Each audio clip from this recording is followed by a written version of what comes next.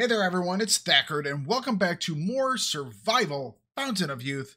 And today we are going to be discussing maintaining your health. Now, it doesn't matter how long you play this game, eventually you are going to get injured and you will have to heal yourself back up. Or you might get a illness or disease and you're going to have to treat it. So today we are going to be looking at those specific things, and hopefully this will give you the information you need to deal with these issues when they arise. All right, let's get to it.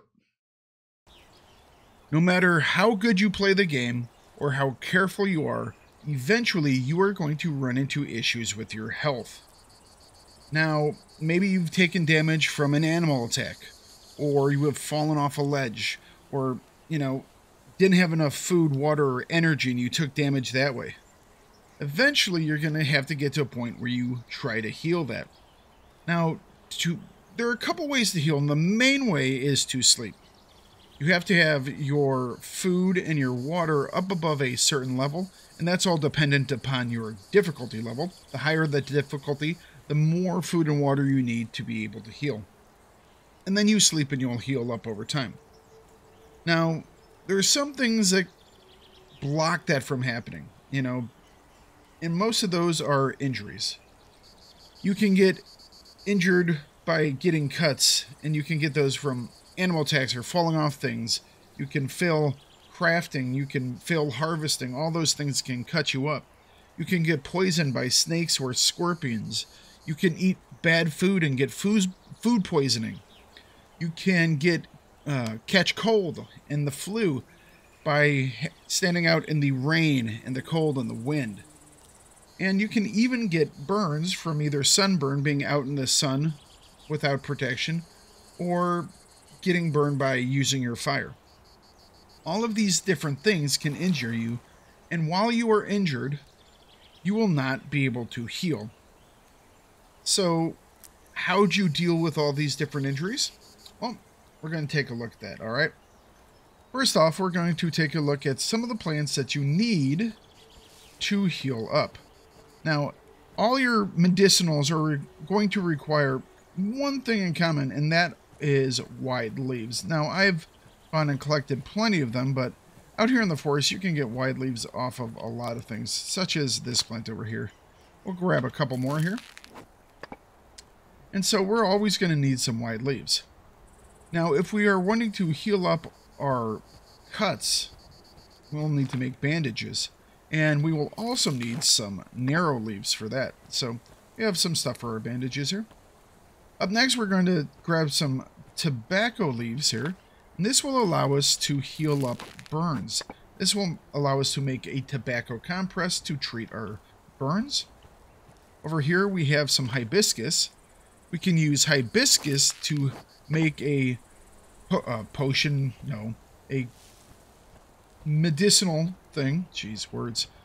We can use the hibiscus to make some medicine to treat uh, the cold or the flu. And over here, we have some chamomile. Now, chamomile is used to treat stomach issues. And the last thing we could grab is some scorpion tails. I've already grabbed a couple of those. And scorpion tails will allow us to treat the uh, poisonings we might get from, well, scorpions or things like the uh, snakes. All right, so we've returned to our base over here, and I've already collected some of these, but I wanted to show you where uh, flowers they come off of. Oh, I, hang on a second. Let me show you what they also look like on the map as well. Okay. So we were right over here. And uh, things that we were gathering were we were gathering tobacco leaves, and on your map, this is a pair of leaves. Pretty easy to find. Hibiscus, and that's just kind of a flower on your map. And then chamomile, which is this flower that's big circle, divide up into a bunch of wedges, you know? So finding these things isn't that hard. You'll find a lot of the uh, chamomile in these wide open areas while things like hibiscus tend to stick to the jungle areas as well as the tobacco. It likes being on the edges of the jungles a lot as well. Alright, So we have gotten quite a bit of items that we need. My poor navy coat, it broke. Sadness. Alright, so we're going to grab a whole bunch of these wide leaves because we're going to need them. And we're going to grab a whole bunch of narrow leaves because we're going to be making up those bandages. I'll grab all of this stuff. I think the only thing I don't have right now is any scorpion carcasses, which is fine. Because we know what they all look like. And I already have some of those made up. Now we're going to process our medicine over here on the fire. And I'm using a hearth, but you can do this on a standard little fire to begin with. That's no problem. We'll just go down here and these are our medicinals here that we can make up. We're going to make up a couple of bandages, and each bandage requires two wide leaves and one narrow leaf, so we'll make up five of these. We'll make up three hibiscus petals here. Like I said, those are for treating the cold. We'll make up a pair of tobacco compresses for burns. And we'll make maybe five of these chamomile juices. Now, the reason why I made like so many chamomile juices is because it always seems that if you're going to get some type of illness, something like the foodborne illnesses are usually much easier to get than other types of illnesses. So the only other one that's easier to get is definitely the cuts. So we have also made up a whole bunch of bandages as well. Now, there are a couple other ways for you to heal up. And one of them is to make up some bread. This is a special recipe. And these are the baked cakes. And we use breadfruit and eggs to make these. We're going to make a whole whack of these, about five of these. And what the bread uh, baked cakes do is it gives us 27 food and it will heal us for 5. That's over 32 minutes, but we will heal up 5 of our damaged health. If we look at this right here, we have, uh, you know, we need to heal up some here, so we will uh, have one of those. And over time, we're going to heal up those 5 points of damage. Now, I'm going to cook up all this meat as well because we're going to need to make sure we are nice, nice and healthy. Not enough fuel left, that's fine. How much we got left? Five hours. I won't be able to get most of them. I've actually fallen below my water intake.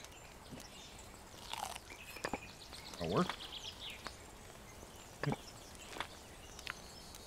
So we'll roast up this meat. There we go. Store some of that, and we will also munch on this a bit. Wonderful. Excellent.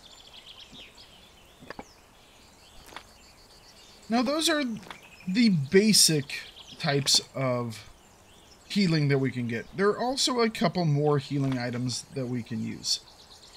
Now, some of them are still locked up, and we won't be able to use those until later on. But there are a couple of other ones that we might be able to deal with, and that is Crushed Sage, which is for a fever, although I have personally never gotten a fever in game. And then this one is a straight up healing potion.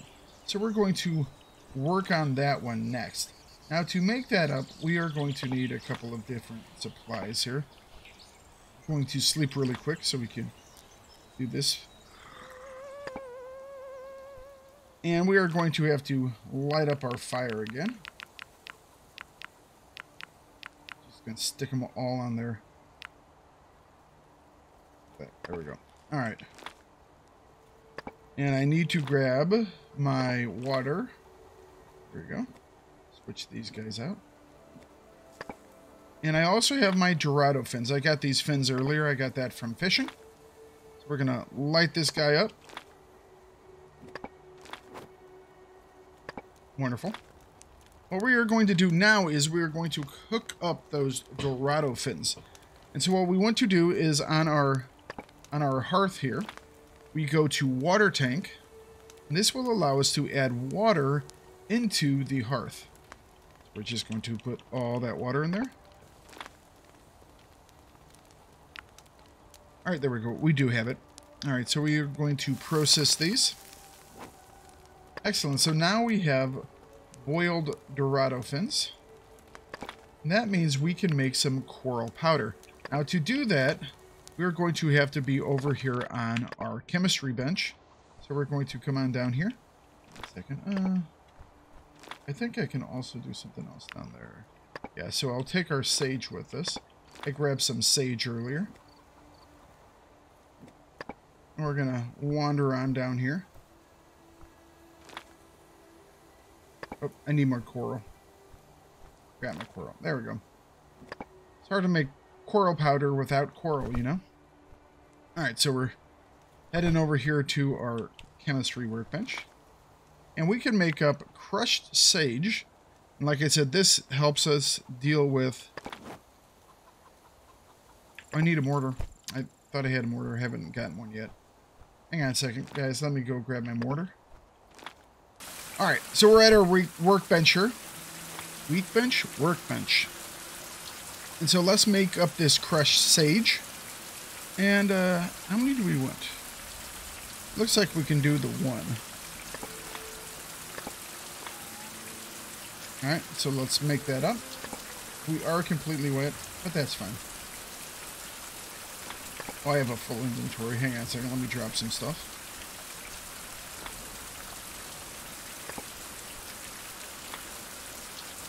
There we go. Pick this back up.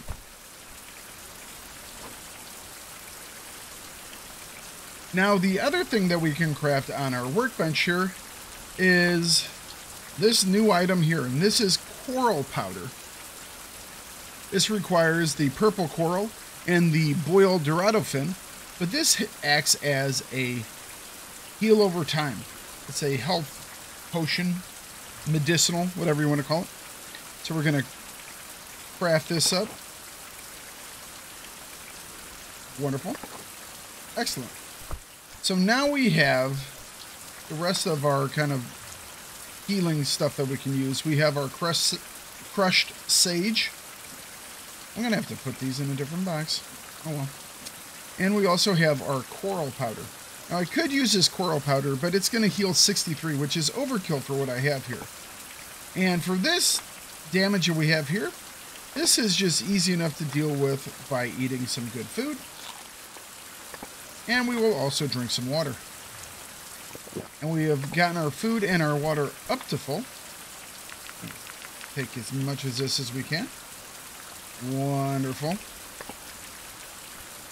So now that we have our food and our water up to 100, for us we would need to get them up to 60, but they're far past that.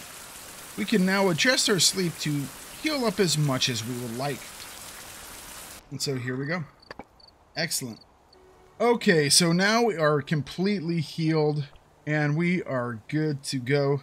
So yes, there are three ways to heal. You can either heal via the bed and sleep, you can heal by eating these baked cakes, or you can heal by using the brand new coral powder. Alright guys, that is how to heal up and how to make medicines to treat injuries. If you have any questions about medicines or healing, please leave them down below in the comments.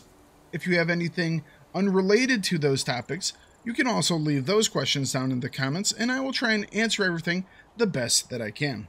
If you're looking for more Survival Fountain of Youth content, you can always check out my Twitch page between 1 p.m. and 4 p.m. Tuesdays and Thursdays. I will be streaming.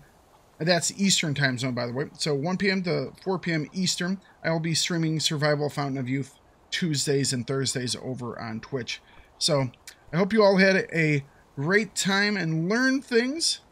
And, you know, go out there, enjoy yourselves, and make sure you guys survive.